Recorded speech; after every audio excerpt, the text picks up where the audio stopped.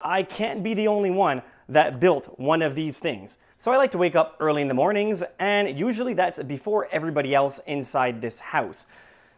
Coffee makes this noise. If you grind your coffee while people are still in bed, most likely you'll wake them up. So what do you do? Go into another room. You, sometimes you just can't do that. Sometimes you can't scurry away into another room because you live in a place where there's not that much room to go. Sometimes the noise can be even worse, like this.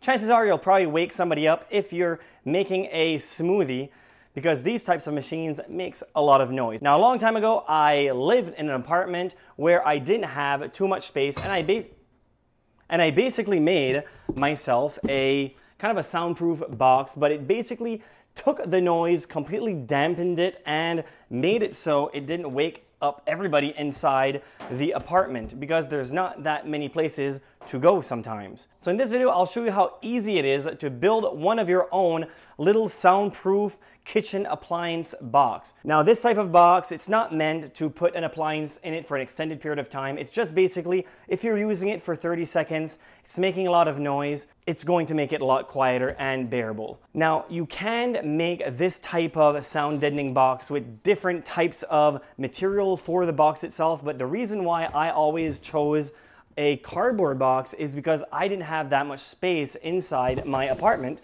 So I would open it all up and fold it and place it somewhere where it wouldn't take this much space. Now, if you use a Rubbermaid tub, something of the sort, then yeah, I mean, it'll work, but then you'll have that big tub that you have to store somewhere. The second thing that you will need is sound deadening material for vehicles. Now, you can basically choose any type of sound deadening material. They all work pretty well the same for this type of application because it's not really placing it on metal to stop vibrational from the road noise. So it's, it's a different type of application. I'll have links in the description below of everything that I recommend to build your own box. The next thing that you'll need are command strips and some acoustical foam to really deaden the sound that these types of small appliances will make. All right, so now let's build our box, but first we'll take some decibel readings of our two small appliances and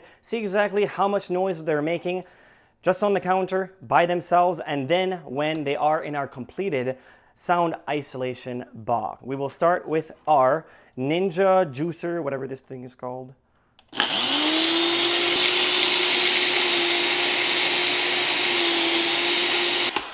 Quite noisy. So you saw that was around 95 decibels. It was when I was looking at it. Maybe when I had it a little bit closer to the camera, it might have been a little bit less. Now we will try our coffee grinder.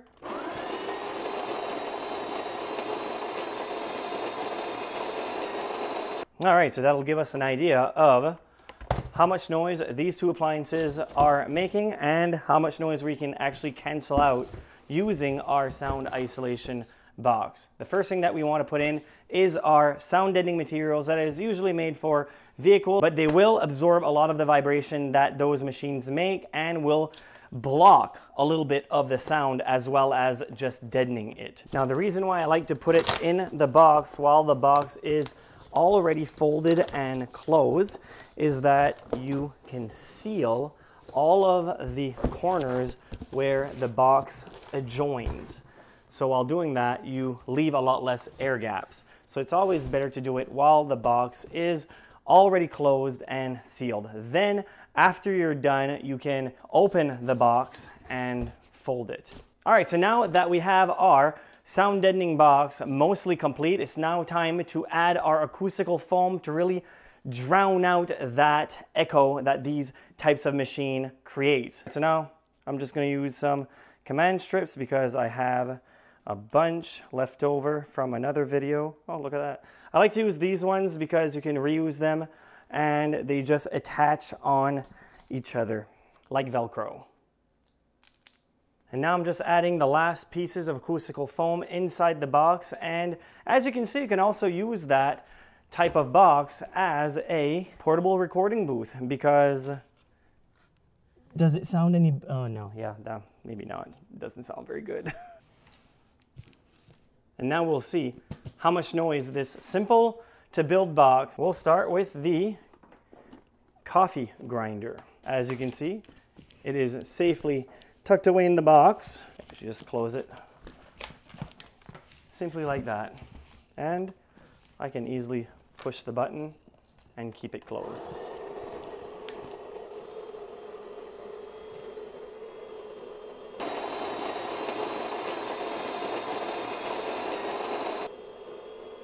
About 72. As you can see, it is quite more silent than it was before. And just to give you an example, if you just decrease the noise by only three decibels, essentially you're cutting the noise in half by what you're able to hear, how it sounds to you.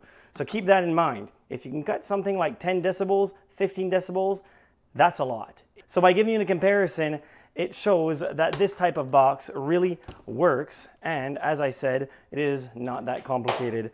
Now we will use the well, smoothie maker and we'll find out exactly how much noise this makes because this is quite a noisy machine. All right, let's begin.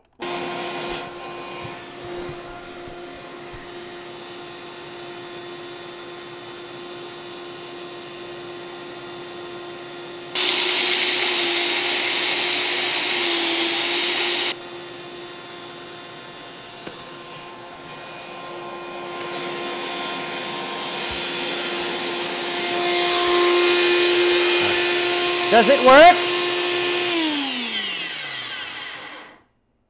Yeah. What do you think? It, leave, a, leave a comment because I can't be the only one that built one of these things. So just let me know. And also let me know how you built it and how it turned out. Send me pictures. Info at soundproofguide.com. Also, check out my website. I'll have all the measurements there for these types of projects. And I would just love your support to check out my work. Thank you very much for watching. Until next time.